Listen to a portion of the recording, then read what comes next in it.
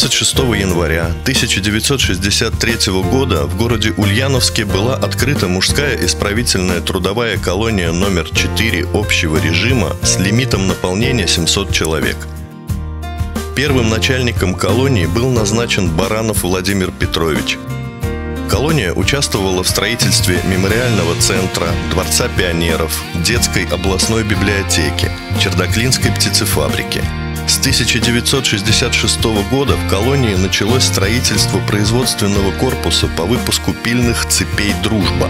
Каждый новый руководитель колонии вносил свой личный вклад в развитие учреждения. В 1982 году возведены третий производственный корпус с механическим производством, построены три жилых общежития для осужденных складские помещения, столовая, школа, медицинская часть, профессиональное училище. Началось создание собственного подсобного хозяйства. В этом была большая заслуга Маклакова Геннадия Александровича. В частности, за эти вот 10 лет, которые мне пришлось руководить этой колонией, мы построили несколько общежитий, новую столовую на 500 мест, больницу, школу, освободили помещение под клуб, которого вообще не было, расширили баню, то есть все объекты, которые, значит, э, нужны для того, чтобы колония работала спокойно и осужденным были созданы лучшие условия. В то время наша колония работала в основном кооперации с машиностроительным заводом имени Володарского. Это единственное предприятие, которое выпускало пильные цепи на весь Советский Союз. Вот такие проблемы, которые, значит, в то время существовали, мы решили успешно. В период реформирования уголовно-исполнительной системы колонии удалось сохранить все достигнутые показатели.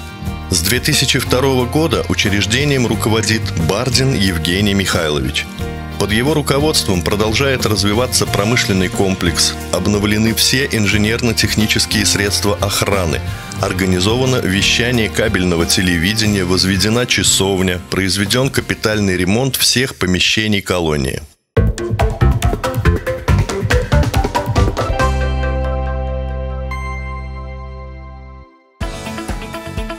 Все успехи достигнуты благодаря плодотворному труду всех поколений сотрудников нашей колонии. Коллектив исправительной колонии номер 4 сохраняет и приумножает накопленный потенциал. От каждого сотрудника зависит успешная реализация стратегии развития уголовно-исправительной системы, обеспечиваются сложнейшие задачи жизнеобеспечения колонии –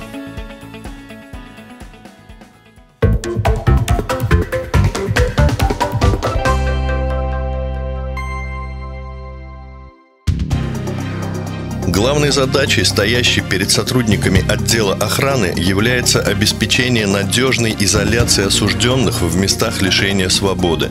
За последние 10 лет служба в отделе охраны сложилась в самостоятельную структуру, обеспеченную современными инженерно-техническими средствами, укомплектованную профессионально подготовленными кадрами общей численностью более 80 человек – Сотрудники отдела охраны выполняют свои служебные задачи с полным напряжением моральных и физических сил, проявляют при этом стойкость, мужество, смелость, выносливость и неподкупность. Свои навыки они отрабатывают на инструктажах, теоретических и практических занятиях, проводимых в классе по боевой и служебной подготовке – Поистине неоценимую помощь сотрудникам отдела охраны оказывает кинологическое отделение. Собак используют для несения службы в карауле на контрольно-пропускном пункте по досмотру автотранспорта для охраны периметра –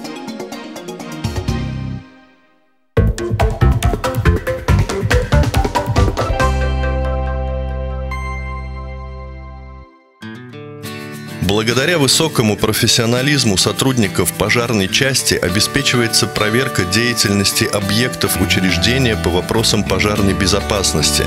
Внедряются средства пожарной автоматики в противопожарную защиту. Осуществляются постоянные тренировки личного состава по действиям в момент возгорания – Своевременно устраняются выявленные нарушения требований пожарной безопасности.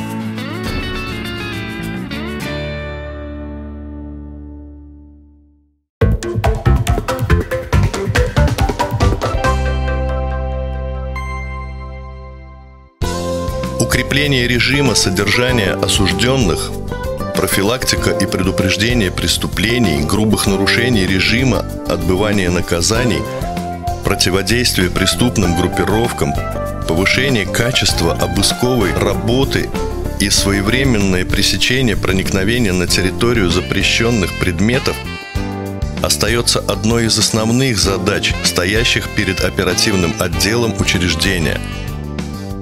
Профилактика правонарушений – Работа на предупреждение преступлений позволяет поддерживать оперативно-режимную обстановку в колонии на должном уровне.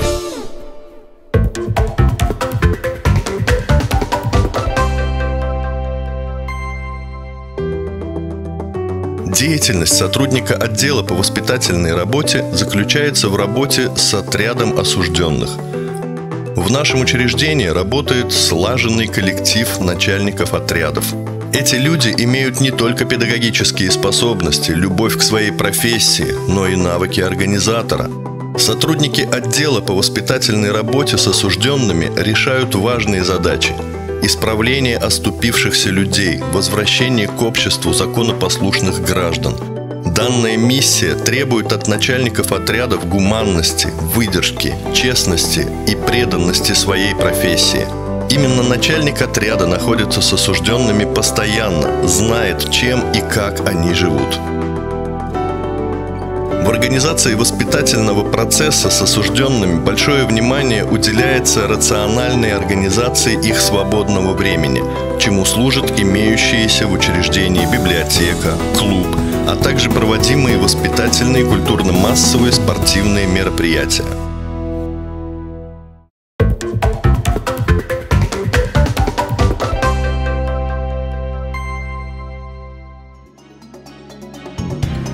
Взаимодействие с отделами и службами колонии, применение современных технических средств надзора, ввод интегрированных схем видеоконтроля существенно улучшают качество несения службы сотрудниками отдела безопасности, помогают предотвратить, пресечь противоправные действия со стороны осужденных. Для надлежащего контроля за лицами, склонными к различным видам правонарушений, в учреждении организован профилактический учет. Большое внимание уделяется организации и проведению обысков, профилактике побегов.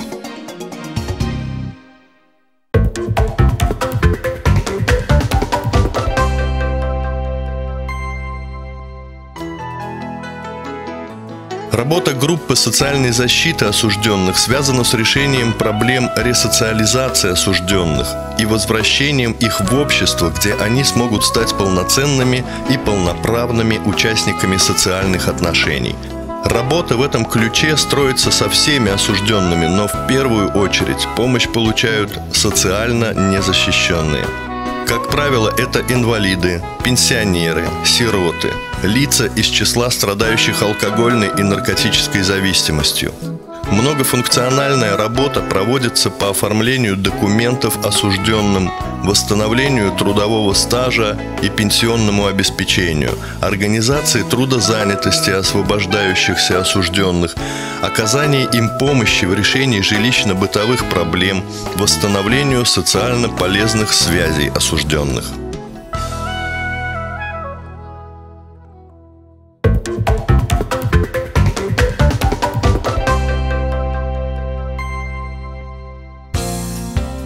Деятельность отдела специального учета неразрывно связана с функционированием нашего учреждения и во многом определяет законность отбывания наказания осужденными.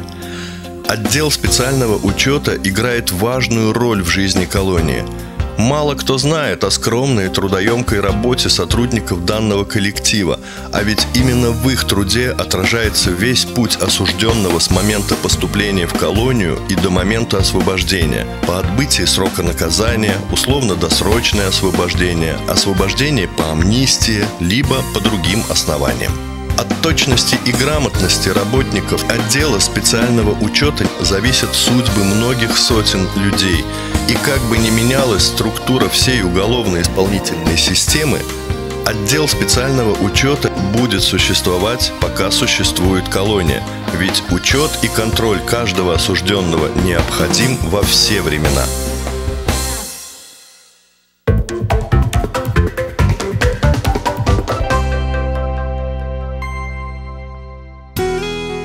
Большое внимание уделяется психологическому сопровождению сотрудников из спецконтингента – Работа психологов с персоналом учреждения начинается с профессионально-психологического отбора кандидатов на службу и психодиагностического обследования личности. Проводятся психокоррекционные мероприятия с использованием современных методов работы.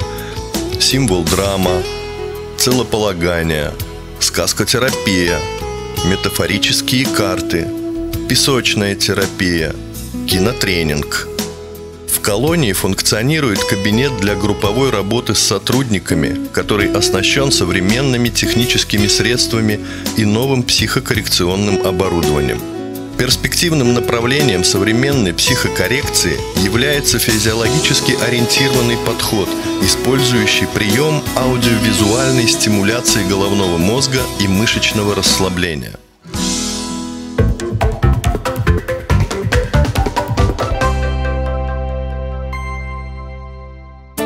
В нашей колонии есть все для обеспечения жизни и работы осужденных. Медицинская часть укомплектована новым оборудованием. В чистом, отремонтированном стационаре могут одновременно получать лечение 17 человек. Ежедневно проводят прием такие специалисты, как фтизиатр, терапевт, инфекционист, психиатр, стоматолог. Огромную помощь им оказывают фельдшера и медицинские сестры – в медицинской части второстепенных, малозначимых ролей нет. Успех борьбы за жизнь и здоровье осужденных зависит от каждого медицинского специалиста. Большая нагрузка лежит на плечах среднего медицинского звена. Врачи и медсестры должны найти в себе силы прийти на помощь каждому осужденному в любой жизненной ситуации. Помимо профессионализма, надо обладать еще и большим терпением.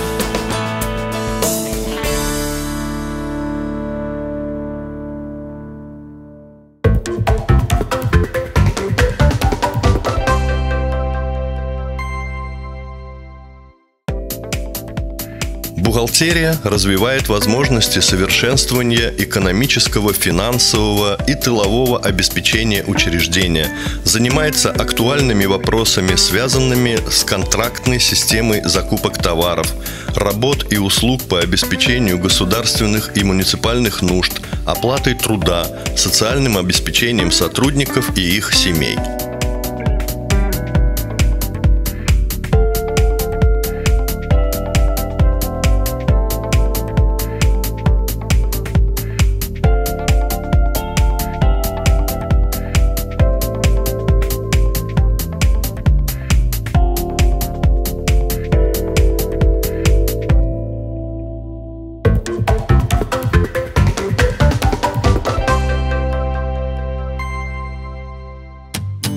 Планово-экономическая группа является самостоятельной структурой, частью аппарата управления предприятия, основным органом планирования его деятельности. Главной задачей планово-экономической группы является организация и систематическое совершенствование планово-экономической работы на предприятии, обеспечение разработки и контроля за выполнением текущих планов, сокращение потерь сырья, материалов и топлива. Группа организации труда и заработной платы разрабатывает проекты положений о премировании рабочих и служащих, анализирует состояние организации труда, заработной платы, формирует выплаты вознаграждений за общие результаты работы предприятия по итогам года.